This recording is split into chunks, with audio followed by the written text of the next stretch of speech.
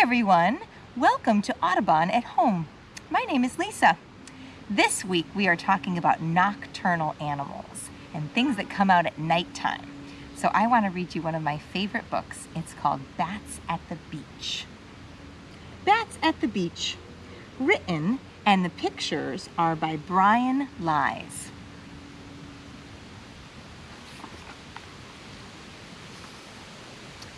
The sun slips down and all is still, and soon we can't tell the sky from the hill. Now from the barn and the cave and the rafter, bats pour out with shrieks of laughter. The rising moon can grow no fatter as sky lights up with gleeful chatter.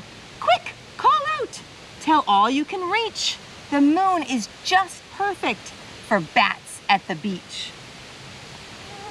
Soon we've got our buckets, our trowels, our banjos, our blankets, our books, and our towels strapped on backs and under wings.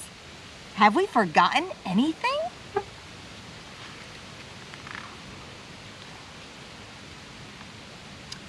Launching out into the breeze, we sail above the darkened trees, flying fast to wet our feet. Where land and foamy ocean meet. Look at all the things they're carrying, picnic baskets and buckets. Someone's got an umbrella, all the things you'd bring to the beach. At last we hear the deep bass thump as the waves on seashore crash and bump. Now the shoreline spreads below. We pull wings in and down we go. They're zipping down towards the beach.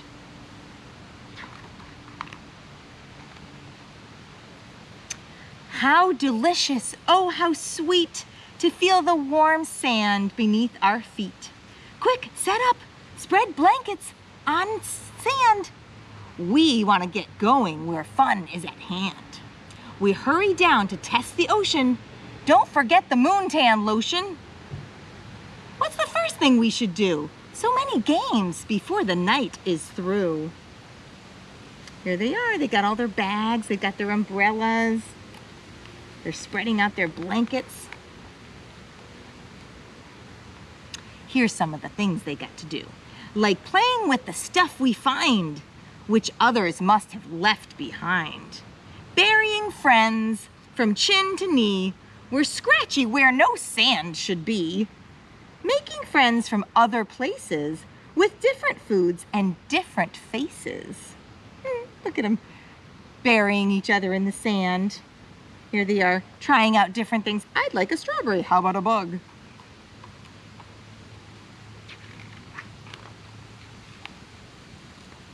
Or sailing to terrific heights, taking turns at being kites.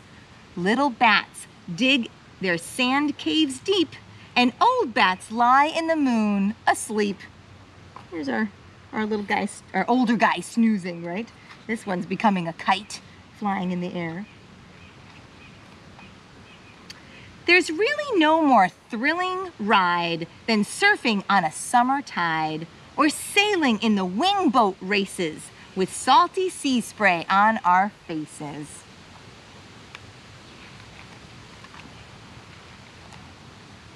Now it's munch time. What's to eat? Baskets groan with yummy treats. Beetles, ants, and milkweed bugs. Crickets, moths, and pickled slugs. Would you like that for your beach treats? Damselflies or salted skeeters no room here for picky eaters. I would love someone to come eat some of these skeeters. Bug mallows toast on slender sticks while cousins do their ocean tricks. Look at this. You got little cricket legs sticking out from those marshmallows. And later on, those stomachs hurt. We'll try the snack bar for dessert.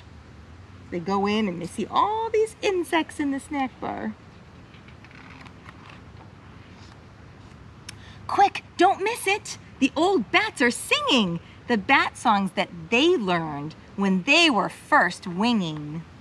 Music rolls on, but no more games as embers popped within the flames.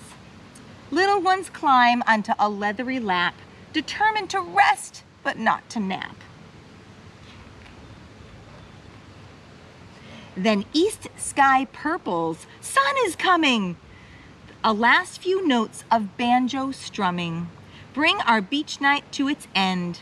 So say farewell to newfound friends. Pack our things up, shake the sand out.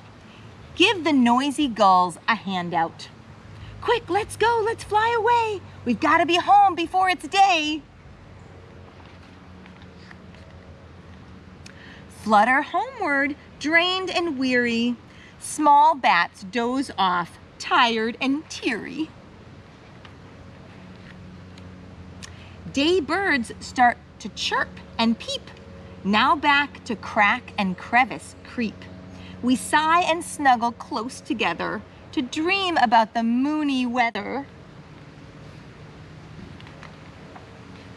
Shh, now sleep. The moon's out of reach. The night was just perfect for bats at the beach. And that was the end of that story. I hope that you might see some bats, maybe at the beach, but maybe just even in your backyard or a park this summer. They love to come out right when the sun is going down and be swooping around. So I hope you get a chance to see some of those. Have a wonderful day, everyone. Thank you for joining us for Audubon at Home.